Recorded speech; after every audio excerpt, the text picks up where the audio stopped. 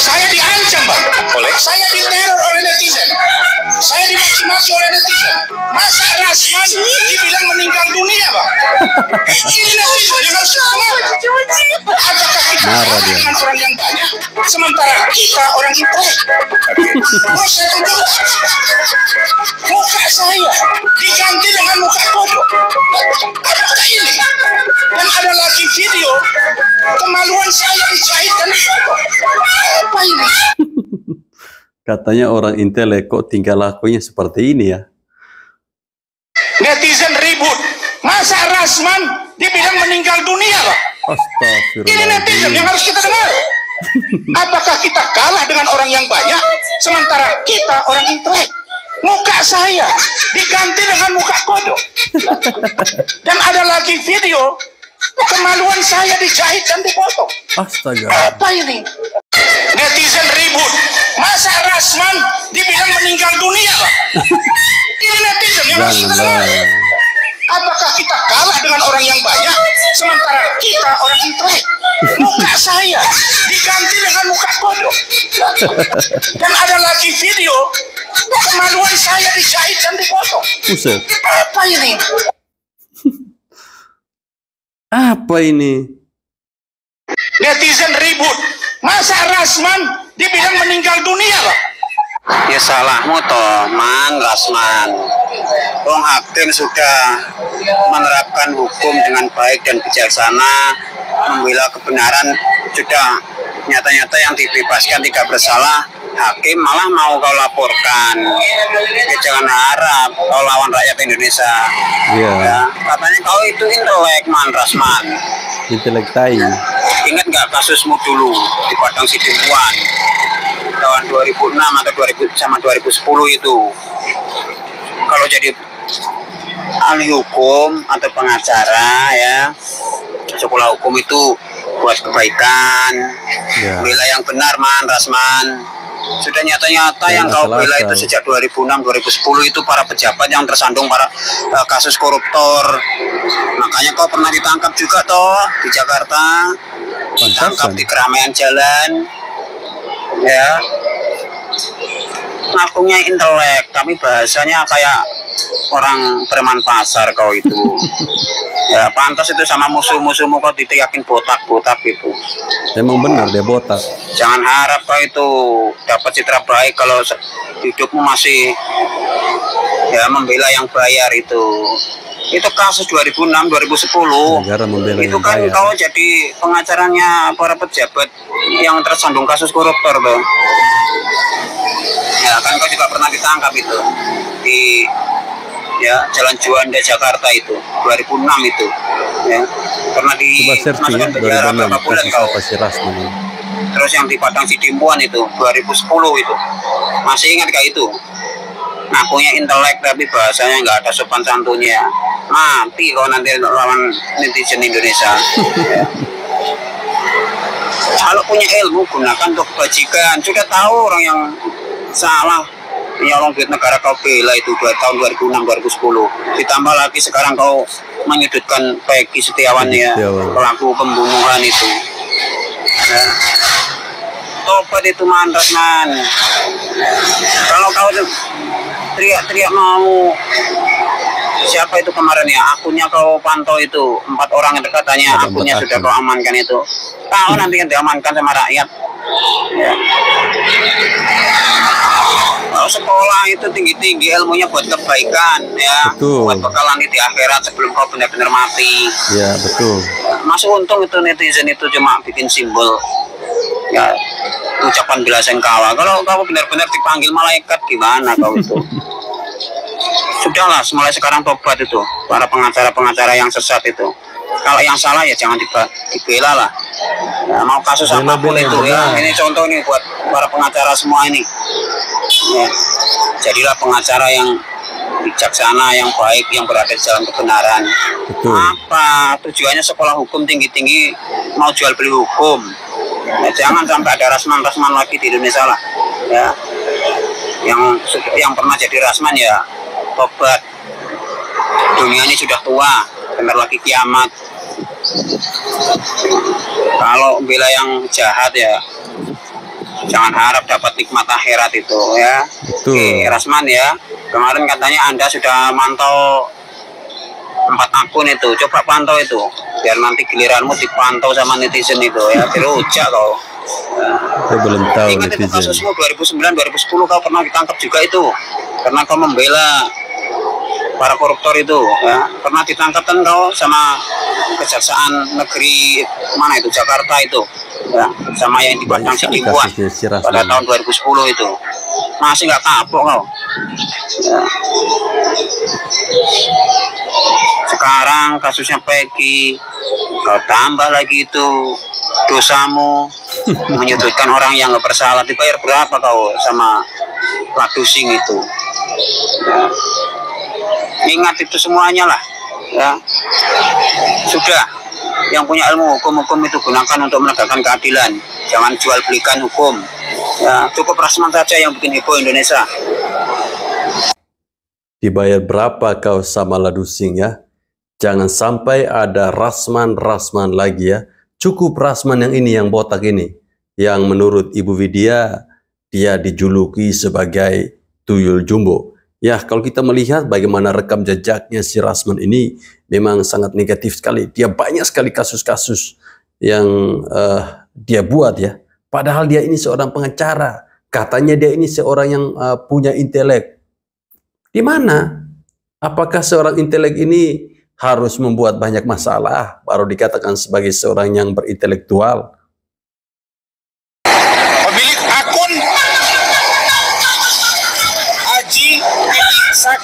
Titik 99 Koma Akang titik A D E 95 Ada. Kemudian akun Ini apa istilahnya? Lagi absen ya. Mama Tikman Mama Tikman Dia terkait cara baca tanda et itu. Rudin Dopin K8 Putra Official 35 dan beberapa akun lainnya yang sangat tidak elok memposting korban. Disamakan dengan memposting saya disamakan dengan kera disamakan dengan kodok disamakan dengan babi disamakan dengan anjing. Dan berita kematian korban dengan kalimat semoga amal ibadah diterima di sisinya dan menjadi penghuni neraka jahanam selamanya. Hei kalian-kalian Saya kalian-kalian. gentar sama kalian. Ini contoh barang dan ini harus lanjut sampai ke muka persidangan dan dihukum. Tidak ada damai buat kalian. Kemarin-kemarin dia menantang netizen. Giliran diserang sama netizen, giliran dibully sama netizen, eh malah ciut nyalinya, malah mau lapor balik lagi netizen. Bahkan ada empat akun yang dia baca tadi ya, dia akan laporkan semua uh, empat akun ini dan juga yang lainnya. Mampukah si Rasman memenjarakan empat akun ini? Kita nantikan bersama di bla bla bla bla. Halo para pencari keadilan. Anda mungkin melihat ada oknum pengacara diolok-olok, dilecehkan di medsos. Benar-benar diolok-olok sampai tingkat paling rendah. Bayangkan kalau oknum pengacara seperti itu menjadi pengacaramu. Bagaimana nasib perkaramu? Bagaimana wibawa pembelanya dengan memakai jasa oknum pengacara seperti itu.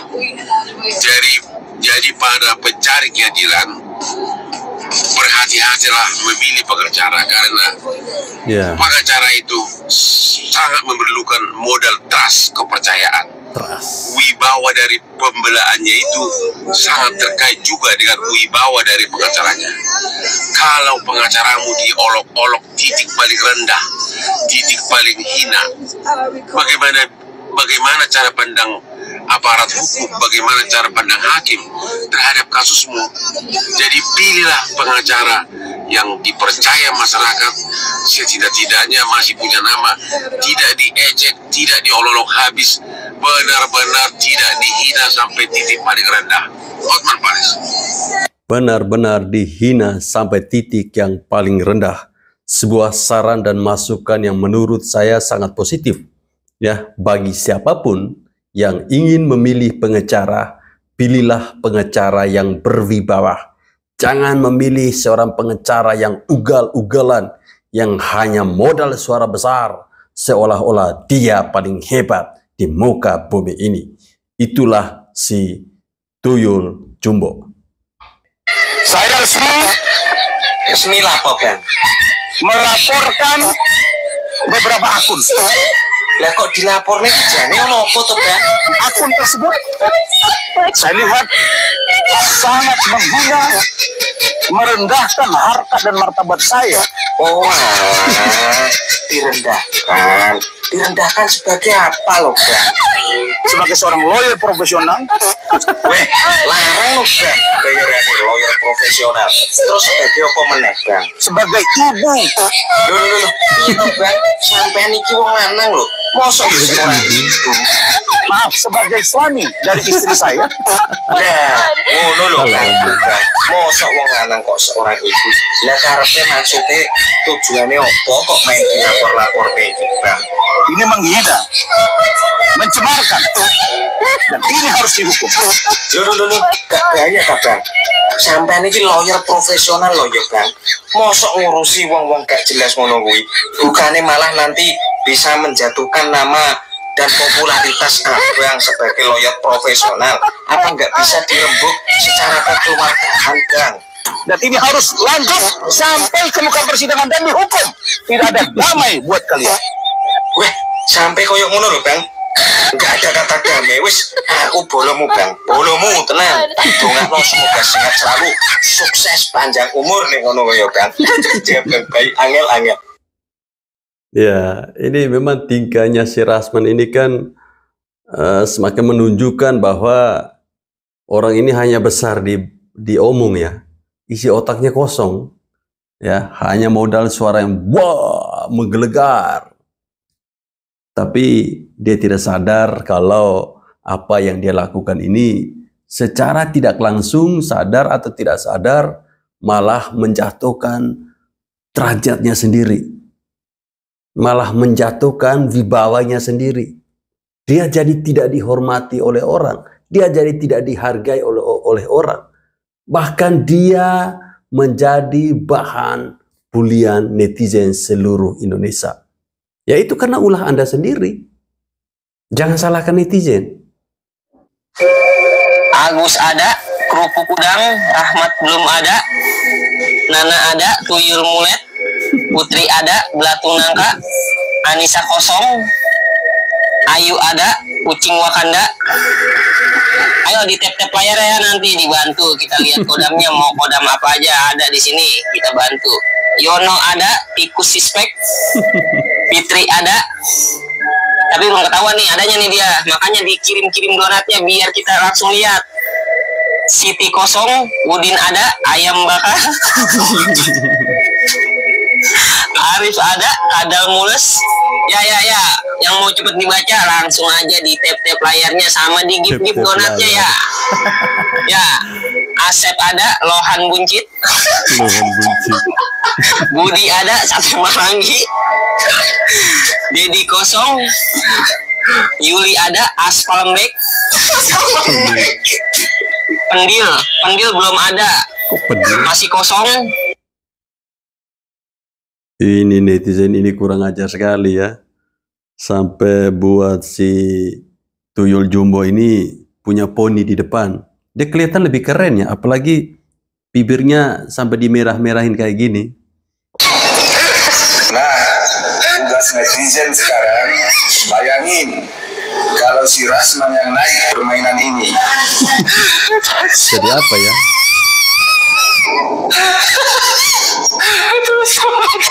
Jangan mirip lumba-lumba ini. Badannya kan besar sama ya. Habis lo. Nah. Sabar, sabar. Buset. Mirip kayak lumba-lumba nih guys.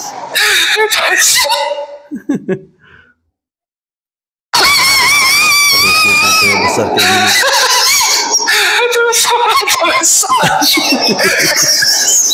Ini kayak isi air semua ini. Iya, ntar dulu ya. Sebenarnya saya Kita mau umumkan ke ya. yang lebih serius dulu ya. Yang melaporkan Trasman itu adalah saya. Oh ya, abang. Kita melaporkan karena ancaman mulutnya, tantangan, kemudian kalimat-kalimat kotor, kalimat jorok yang disampaikan dia setiap nelpon tuh ngomong-ngomongnya kayak anjing, kau on all dan ngomongnya ukimak kau gitu. Dan ini orang ini, ini orang ini udah nggak bisa dijaga mulutnya. Jadi Ini kalau istrinya bilang suaminya ya, baik, suaminya itu kasar. Gitu. Kalau kalian masyarakat Indonesia melihat perilaku orang yang, saya mau tanya dulu, Rasman ini melaporkan pidana mana LP-nya? Nomor LP-nya mana gitu? Kalian kalau wartawan lihat LP-nya gitu. Dia hanya pengaduan aja karena apa yang dilaporkan dari kalimat-kalimatnya itu ya. Apa yang dilaporkan dari kalimatnya itu ya. Itu tidak berdasar gitu. Karena saya tahu apa yang saya ucapkan pada saat di iNews itu. Saya dengan sopan saya menyatakan kamu ini organisasi advokat yang mana bagi saya kamu bukan kamu itu adalah mantan pengacara karena sepengetahuan saya Rasman Arif Nasution sudah dipecat dari KAI. Saya menghadiri rapat pemecatannya. Nah, saya nggak tahu. Karena waktu itu katanya dia kabur, mengundurkan diri dan masuk organisasi yang lain. Dan belum ada deklarasi menyatakan bahwa dia adalah anggota, anggota eh, organisasi yang lain. Justru saya menganggap dia tidak gentle ketika dilaporkan orang, dia malah pindah ke organisasi yang lain gitu. Tapi tetap aja keanggotaan dia itu di Kongres Advokat Indonesia. Kalau memang Kongres Advokat Indonesia pernah menganulir ya, silakan umumkan. Apa dasar mengumumkan atau membebaskan dia daripada hukuman pemecatan itu? Nah, kalau memang sudah dipecat ya, makanya kita anggap dia mantan pengacara. Ya. Tidak boleh dia menafsirkan bahwa dia masih pengacara ya itu tinggal klarifikasi ya, oh masih pengacara toh. Ya, kalau masih pengacara organisasi advokat mana? Ntar kalau lu salah gue laporin lu kabur lagi, dipecat lagi kabur lagi kan Ya, kira-kira seperti kabur-kabur itu. ya. Nah, tapi setelah dia mengatakan dia masih, saya nggak mempersoalkan.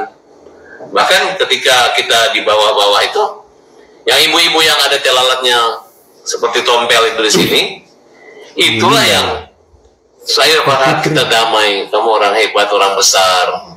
Maaf, saling memaafkan. Nah, ketika tangan saya mulai memaafkan, ya dia salaman.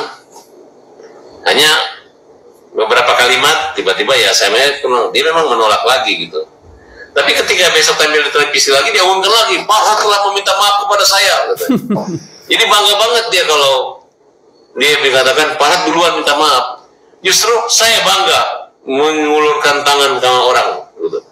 Jadi dia pikir itu mengecilkan saya. Justru saya anggap dia membesarkan saya, menyatakan tangan saya ringan untuk menyampaikan maaf dan hormat kepada orang. Harusnya seperti itu. Nah, jadi perlu masyarakat ketahui, ya, saya lah orang yang melaporkan Rahmat Ra, eh, sama Rasman. Rasman. Rasman. Nih laporannya. Per tanggal berapa nih bang? Per tanggal 14 Juni jam jam berapa ini ya? Jam berapa?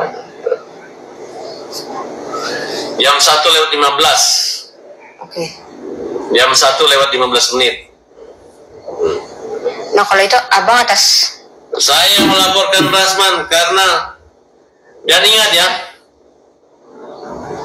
nggak boleh lagi mengatakan saya menyebarkan percakapan. Itu bukan percakapan. Tapi- Itu adalah nomor telepon pribadi, pribadi saya yang mana Rasman menelpon. Kemudian dengan teriakan-teriakan tidak senonoh, kalimat-kalimat kasar yang saya anggap ini orang harus masuk penjara. Ya, sebuah teguran keras yang coba dilayangkan oleh Farhad Abbas. Dia menginginkan agar si tuyul jumbo ini segera tidur di dalam penjara. Bagaimana? Apakah teman-teman setuju dengan eh, apa yang diupayakan oleh Farhad Abbas ini terkait dia merespon atas laporan dari Rasman Arif Nasution. Ya, memang kalau kita berbicara soal orang ini terkait dengan eh, kata-kata kotor yang keluar dari mulutnya, bahkan di TV-TV nasional. Ini tentunya sangat mengganggu bagi kita yang menonton. Yang menonton ini bukan hanya orang besar, tapi anak kecil juga menonton. Mereka mempertontonkan hal-hal buruk di depan televisi nasional. Dan anehnya lagi, kenapa masih ada stasiun TV yang mengundang si tuyul jumbo ini? Seharusnya stop. Jangan lagi mengundang si tuyul jumbo ini. Dia ini mirip seperti Towel yang selalu kontra dengan masyarakat Indonesia. Baik teman-teman, saya kira sampai di sini video saya. Terima kasih telah menonton video ini. Salam Baras.